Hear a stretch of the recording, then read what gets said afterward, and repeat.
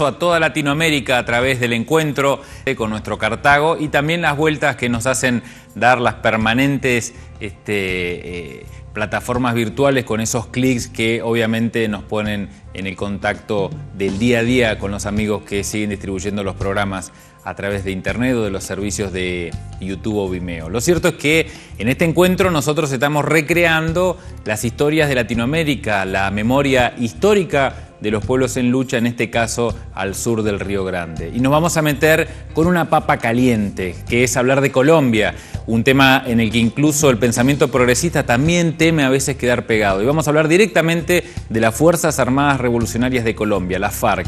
Este es un documental que produjo Pablo Alejandro y el documentalista francés Yves Bion, que tienen que ver con eh, el origen de la FARC pocos momentos dentro de lo que tiene que, ubicarse a través de la historia de Latinoamérica, hay tanto material cinematográfico y sobre todo de historia respecto a cómo surgen las guerrillas en Colombia, cómo surgen y cómo subsisten al día de hoy estos movimientos político-militares. Está el origen de la FARC, está el origen del ELN, pero sobre todo también la tradición de lucha de un pueblo que no se ha rendido en estos últimos 60 años. Este documental está atrasado con respecto a los últimos vaivenes en lo que tiene que ver con la carrera imperial de armas dentro de Colombia, pero llega precisamente en un momento también acuciante para entender la realidad de Latinoamérica. ¿Dónde puede estar hoy Latinoamérica sin Colombia? ¿Qué pasaba en esos 50 años en donde se originan estas guerrillas liberales en un principio contra la sonada del Partido Conservador? Todo eso condimentado obviamente con la lectura a través de este, estas cámaras francesas que han registrado este documental impactante para entender el origen de la FARC. 50 años en el monte.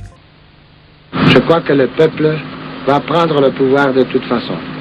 Je crois que la, le peuple, qui est la majorité, a le droit au pouvoir.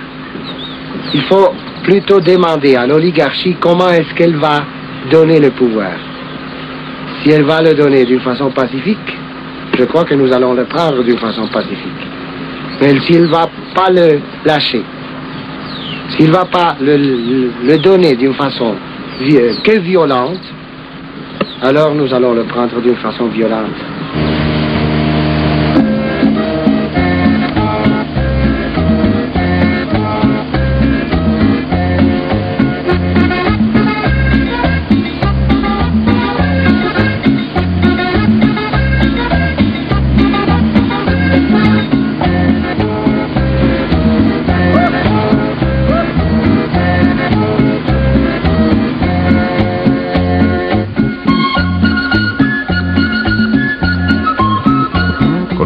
Población mayoritariamente rural, Colombia alberga en su propio territorio más de un millón y medio de desplazados, es decir, tantos como los albaneses refugiados en Kosovo. Todos son campesinos pobres que huyen de las zonas donde se enfrentan ferozmente la guerrilla, el ejército y los paramilitares. Las frecuentes matanzas perpetradas por los grupos paramilitares han convertido sus vidas en un verdadero callejón sin salida. Refugiados en su propio país, su desesperanza resume perfectamente la inextricable situación que atraviesa Colombia. Más de 40.000 personas mueren cada año víctimas de una guerra civil que empezó hace más de cinco décadas.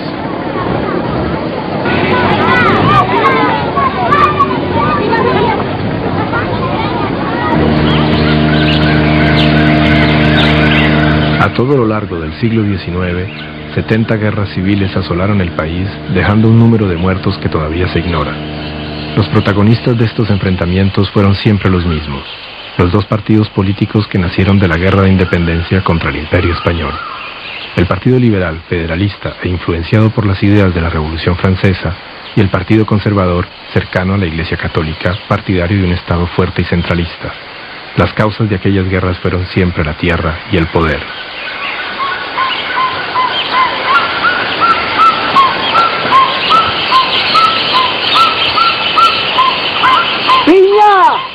Siglo XX traerá su propio rosario de calamidades, corrupción, desigualdad social, represión de Estado, miseria. Estas desgracias generaron diversos movimientos de protesta que al ser violentamente reprimidos por el Estado, se radicalizaron dando nacimiento a varios grupos de lucha armada.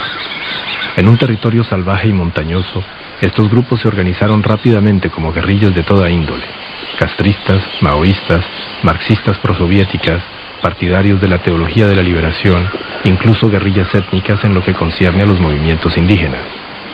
Rebelión armada y estado de sitio han sido una constante en la historia colombiana desde finales de los años 40. Nosotros hemos recorrido muchos sectores por aquí. La misma gente nos dice, compañeros, ¿qué hacemos? No tenemos trabajo. Si encontramos trabajo nos pagan un salario de hambre. Compañeros, salarios de 150 pesos a 300 pesos, que es lo que están pagando por aquí de acuerdo al costo de la vida actual, no es un salario para que pueda vivir una persona dignamente.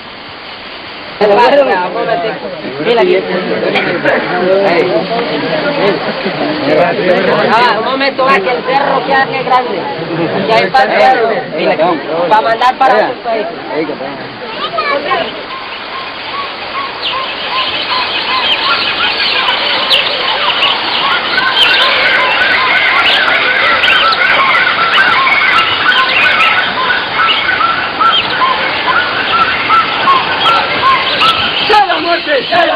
¡No sorprenda! ¡No sorprenda! ¡Bienvenida! ¡Bienvenida! ¡Eso sea! ¡Hermano! ¡Hermano! ¡La revolución! ¡La revolución! ¡Esta, esta! Nadie quiere la violencia acá. Todo el mundo quiere la paz. Pero lógicamente la paz pasa por la defensa de la vida, porque se pueda vivir. La primera forma de violencia es que haya miles y miles y miles de niños que mueren de hambre. Es la primera violencia. La segunda es la violencia del ejército, que masacra indiscriminadamente. La tercera forma de violencia es la guerra sucia de los grupos paramilitares, que matan y todo queda impune. Entonces defender la vida, buscar la liberación, es precisamente el signo que marca el Evangelio. Y creíamos coincide precisamente con la teoría revolucionaria y la teoría marxista.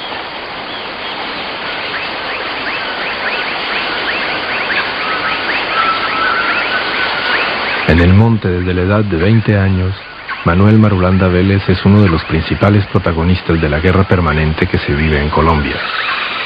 Hoy, con 70 años de edad, es el jefe máximo del movimiento guerrillero comunista más poderoso del continente y tal vez del mundo, las FARC, Fuerzas Armadas Revolucionarias de Colombia. Desde hace 50 años, su propia biografía se confunde con la historia de su país. Hasta ahora realmente yo parezco ser como el guerrillero más antiguo de Colombia y tal vez no como el de Colombia y no también como el del mundo. Porque es que son treinta y pico años ya. Y eso, esos 35 años o 33, lo que sea, no los ha resistido ningún otro.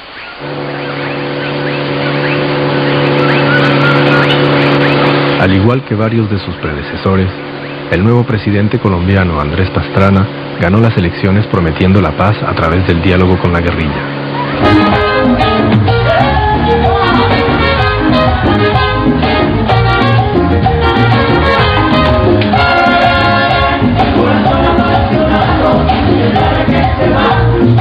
En San Vicente del Caguán, en el umbral de la Amazonía, Pastrana aceptó desmilitarizar una provincia tan grande como Suiza para instalar una mesa de diálogo con las FARC. El ejército se retiró dejando la región bajo el control de la guerrilla. La apertura de este proceso, seguido de cerca por los medios de información, se realiza en un estilo perfectamente suramericano.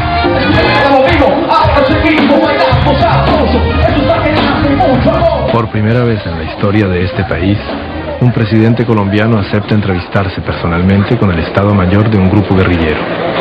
Una ceremonia solemne fue organizada en la plaza central de una pequeña ciudad totalmente controlada por las FARC.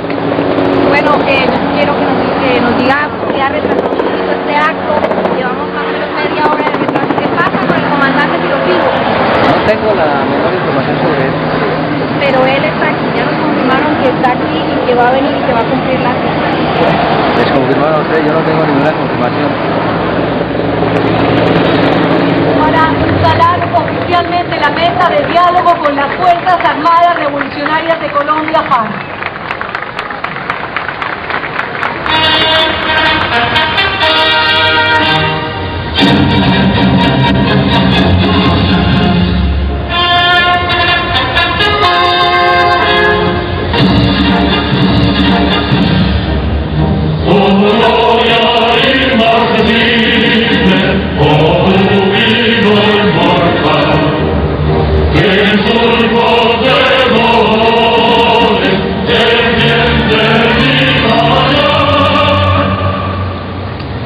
A San Vicente del Caguán como jefe de Estado a cumplir mi palabra.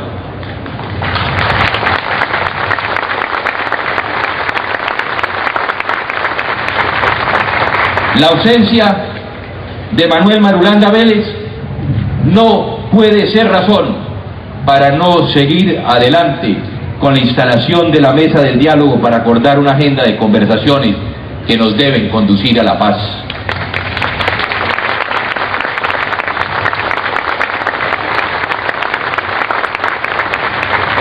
Comandante, ¿por qué no fue el comandante Marulanda? comandante Marulanda a- al evento de mesa. Tengo entendido que había preparado un acto terrorista contra él y por eso no hizo presencia, pero él tiene toda la disponibilidad. Lo importante de todo es cuidar la integridad física de él y del mismo presidente para que el proceso continúe. Manuel Marulanda Vélez, alias Tiro Fijo, esperado por todo un pueblo que todavía se pregunta si su existencia es un mito o una realidad, no acudirá a la cita. Fuimos a buscarlo a las afueras de la ciudad, a pocos kilómetros del sitio de la ceremonia, para que nos cuente la historia contemporánea de Colombia, su historia. ¿Por qué no llegó? ¿Por qué no llegó? Esa es la gran pregunta. No, esa era la pregunta que hacían todos. Nos preguntaban nosotros. ¿Eh? Y llegaban los Sí, claro. Para escuchar el relato de este hombre rudo que vive oculto en un mundo rural del que nunca sale, para conocer los meandros de sus 50 años de monte, tendremos que acompañarlo al corazón de la selva hasta uno de sus campamentos.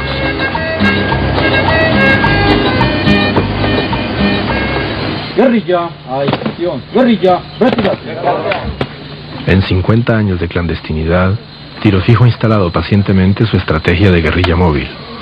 Como un camaleón en su terreno, la gente lo ve con sus hombres por todos lados y en ninguna parte al mismo tiempo. Don Manuel, como lo llama su gente, comunica poco con el mundo exterior, pero se mantiene informado diariamente del quehacer de la guerrilla, dando instrucciones a los diversos frentes de las FARC repartidos en todas las áreas del país. La familia mía, el padre mío, abuelos, tíos, todos eran agricultores, unos más acomodados que otros, dueños de tierras. Nosotros estábamos en la, en la edad prácticamente un poco escolar, no estábamos muy formados todavía y hacíamos parte de esa, de esa vida cotidiana dentro de la parte paterna, igual que con los, el resto de familiares. Esa agricultura consistía, consistía en, en café, maíz, frijol, plátano, yuca.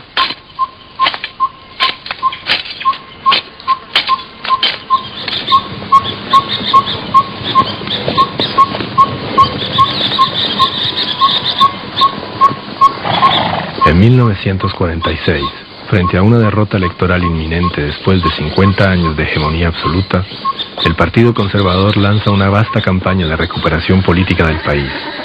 El método es bastante simple. Calumniar la oposición, el Partido Liberal, acusándolo de fraude electoral masivo, amedrentar los electores amenazándolos de muerte y expropiándolos, desencadenando una ola de violencia que llega a su paroxismo el 9 de abril de 1948. El- para el 9 de abril me encontré con un me encontré en un, en un, en un caserío que, que hoy debe ser un municipio bastante próspero, que se llama Ceilán Valle. Andaba en, andaba llevándole un, un queso a un tío a un lugar que él tenía contratado para llevar el queso cada ocho días. Ah, con una mula cargada de queso. O sea que el tío mío tenía ganadería y producía 10, 12, 20, 30 ruedas de queso semanal. Lo que sé es que en el 9 de abril la gente se, insurreccionó en ese pueblo, se levantaron contra la policía y contra los conservadores porque el muerto era, era un liberal y- y en ese pueblo la, la mayoría eran de, de liberales y no de conservadores. Jorge Eliezer Gaitán, candidato liberal a la presidencia, cae asesinado en Bogotá. Es la gota que rebosa la copa. La ira popular estalla incontrolable. La multitud lincha al asesino, saquea e incendia la capital.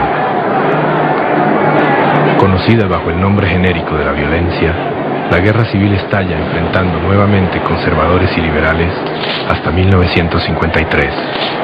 Una guerra que dejará un saldo de 300.000 muertos.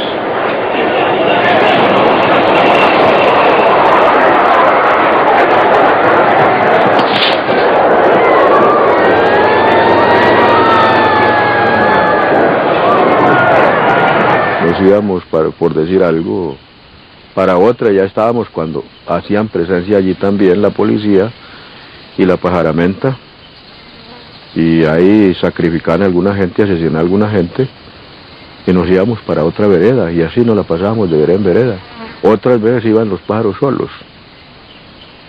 Y como no, ninguno estaba en armas, pues ellos hacían lo que realmente se les, se les venía en gana, quemaban, incendiaban, sellaban los ganados, violaban, hacían de todo.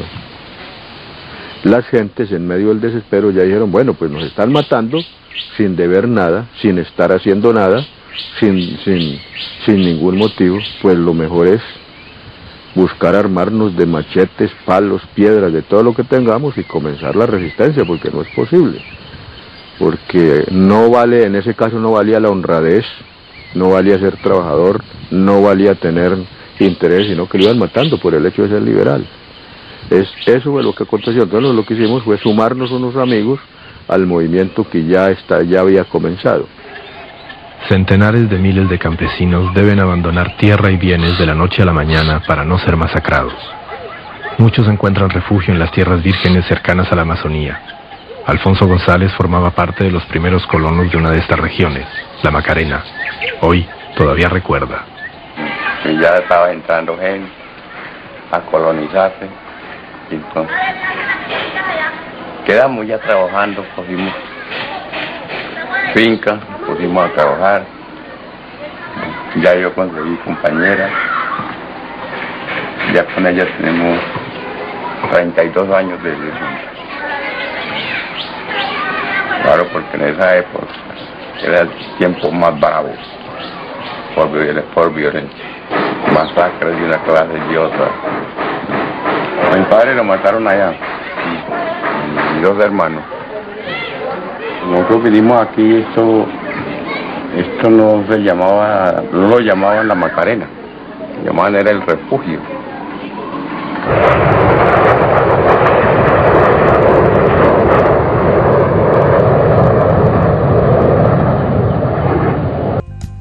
Estamos viendo el documental de Pablo Alejandro, eh, Yves Bion, dos documentalistas franceses respecto al origen de las guerrillas en Colombia. En este caso la FARC, 50 años en el monte. Ya volvemos.